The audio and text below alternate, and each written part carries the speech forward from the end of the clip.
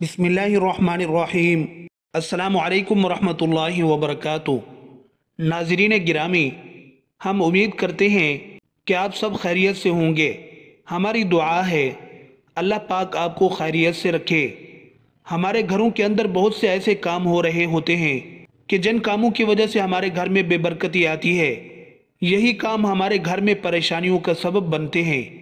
इन्हीं कामों की वजह से गुर्बत में इजाफा होता है। और हमारे घर से अल्लाह की रहमत और बरकत कोसों दूर चली जाती है। नाजरीन गिरामी, आइए अब उन कामों की बात करते हैं जिससे गुर्बत और मोहताजी आती है। ऐसे कामों से अपने घर की औरतों को मना करने की कोशिश करें। ये काम औरतों को अपने घर में मत करने दें। न खुद उन कामों को करें और न ही घर के किसी फर्द को करने दें। याद रहे, नंगे सर खाना पकाने से भी घर में बेबरकती आती है। इसलिए औरतों को चाहिए कि खाना बनाते वक्त अपने सर को दुबट्टे से अच्छी तरह ढांप लें। इसी तरह नंगे सर बर्तन धोना और नंगे सर कपड़े धोना भी घर में बेबरकती का सबब बनता है। औरत को चाहिए कि अपने सर को नंगा ना रखें, क्योंकि औरत के लिए हुक्म है कि उसका बाल भी किसी गैर महरम को नज़र नहीं आना चाहिए। इसी तरह नमाज़ फजर के बाद सो जाना भी घर में बेबरकती लाता है।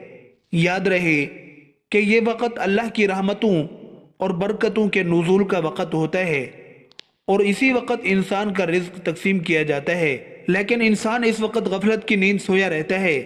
तो इस वक्त का सोना इसके लिए गुर्बत के आने का सबब बनता है। मेहमान के आने पर नाराज़गी का इजहार करना भी घर में बेबरकती का सबब है। याद रहे कि मेहमान के बारे में कहा जाता है कि मेहमान अपना रिज्क अपने साथ लेकर आता है। इसलिए यह नहीं सोचना चाहिए कि मेहमान की आमद पर आपके रिज्क में फ़र्क पड़ेगा। औरतों की आदत होती है कि वो अक्सर घर का दरवाज़ा खोलकर खड़ी हो जाती हैं और दूसरी औरतों से बातें करती रहती हैं। ऐसा करने से इज्तनाब की ज़रूरत है और बैतुलखला में बगैर किसी वजह के बातें करना ये काम भी ऐसा है जो घर में गुर्बत आने का सबब बन सकता है। याद रहे कि बैतुल खला में बातें करने की सख्त ममानियत आई है। बहुत शदीद ज़रूरत हो तो बात करें, वरना इस काम से इजतनाब करें। हुजूर नबी अकरम वसल्लम ने फरमाया, अल्लाह ताला फरमाता है ए बनी आदम, तू मेरी इबादत के लिए यकसू हो जा। मैं तेरा सीना इस्तगना और बेनियाजी से भर दूँगा और तेरी मोहताजी दूर कर दूँगा। और अगर तूने ऐसा न किया तो मैं तेरा दिल मशगूलियत से भर दूँगा और तेरी मोहताजी दूर न करूँगा। मोहताजी और गुर्बत छह चीज़ों की वजह से आती है। नंबर एक, जल्दी जल्दी नमाज़ पढ़ने से नमाज़ में रुकू और सद्दा वगैरह, सुकून और इतमान के साथ अदा करना एक अहम तरीन सुन्नत है। अगर नमाज़ में रुकू, सद्दा वगैरह इतमान के साथ ना अदा किया जाए, बल्कि कब्बे के चूंज मारने की तरह जल्दी जल्दी अदा किया जाए तो नमाज़ नाकस व मकरू होती है। और नमाज़ का सवाब भी घट जाता है। आदमी जब बाकायदा वक़्त निकाल कर नमाज़ के लिए मस्जिद आता है तो उसे अच्छी से अच्छी नमाज़ पढ़नी चाहिए, ताकि नमाज़ का पूरा सवाब मिले। महज चंद मिनट बचाने के लिए उजलत जल्दबाजी के साथ नमाज़ पढ़कर नमाज़ नाकिस करना और कम सवाब पर राज़ी होना अक्लमंदी नहीं है। नंबर दो, खड़े होकर रफ़ा हाजत करने से किसी भी इंसान का खड़े होकर पेशाब करना हराम नहीं है। लेकिन बैठकर पेशाब करना सुन्नत है। इसलिए कि उमुल मोमिनीन सैदा आयशा रज़ी अल्लाह फरमाती हैं कि जो तुमसे ये बयान करे कि नबी सल्लल्लाहु अलैहि वसल्लम खड़े होकर पेशाब करते थे, तुम उसकी तस्दीक न करो, क्योंकि आप बैठकर ही पेशाब करते थे। इस हदीस को इमाम तिरमजी ने रिवायत किया है और इमाम तिरमजी ने फरमाया कि ये इस बाब में सबसे ज़्यादा सही हदीस है और इसलिए भी कि बैठकर पेशाब करने में ज़्यादा सतर पोशी होती है और इसी में पेशाब के छींटों से ज़्यादा हिफाजत होती है। और खड़े होकर पेशाब करने के सिलसिले में सईदना उमर रज़ी अल्लाह हज़रत अली रज़ी अल्लाह इबन उमर और जैद बिन साबित रज़ी अल्लाह से इजाज़त और छूट मनकूल है। इसलिए कि इमाम बुखारी और इमाम मुस्लिम ने सईदना हुजैफ़ा रज़ी अल्लाह से रिवायत किया है वो आप सल्लल्लाहु अलैहि वसल्लम से रिवायत करते हैं कि आप किसी कौम की कूड़ी, यानी कूड़ा फेंकने की जगह पर तशरीफ़ लाए और आपने वहाँ खड़े होकर पेशाब किया।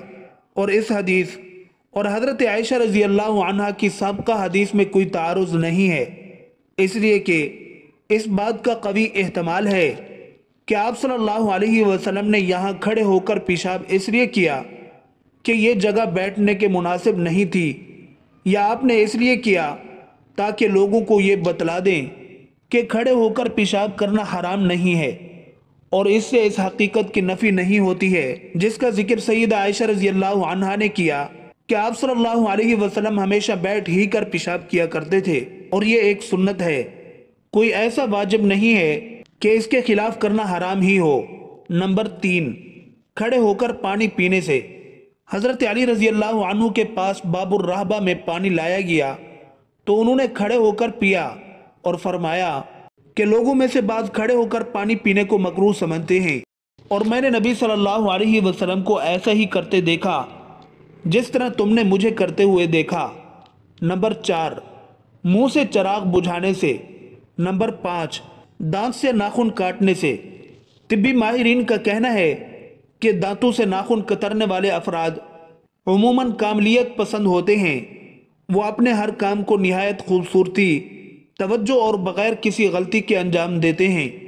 माहरीन के मुताबिक, लोग अमूमन उस वक़्त नाखून कतरते हैं जब वो जहनी तनाव या दबाव का शिकार होते हैं।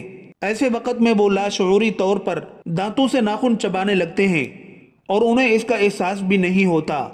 एक और तहकीक के मुताबिक नाखून कतरने के आदि अफराद अगर किसी चीज़ पर तवज्जो मरकूज करना चाहें या बहुत गहरी सोच में डूबे हों, तब भी वो बे इख्तियार नाखून खाने लगते हैं। दांतों से नाखून कतरना दरअसल नरूस हैबिट करार दी जाती है, यानी दिमागी उलझन और परेशानी के वक़्त इख्तियार की जाने वाली आदत। नंबर छः, दामन या आस्तीन से नाक साफ़ करने से। आस्तीन या कमीज़ के दामन से मुँह या हाथ साफ़ करना खिलाफ अदब है। इससे एहतराज करना चाहिए। ताहम अगर कर लिए तो गुनाह नहीं होगा। एक बद्दू ने नबी अकरम सल्लल्लाहु अलैहि वसल्लम से पूछा, हशर में हिसाब कौन लेगा? आप सल्लल्लाहु अलैहि वसल्लम ने फरमाया, अल्लाह। वो खुशी से झूम उठा और चलते चलते कहने लगा, बखुदा, तब तो हम सब निजात पा गए। आप सल्लल्लाहु अलैहि वसल्लम ने पूछा, वो कैसे? उसने अर्ज़ किया या रसूल अल्लाह सल्लल्लाहु अलैहि वसल्लम, अल्लाह ताला करीम है और करीम जब काबू पा लेता है तो मुआफ़ कर देता है।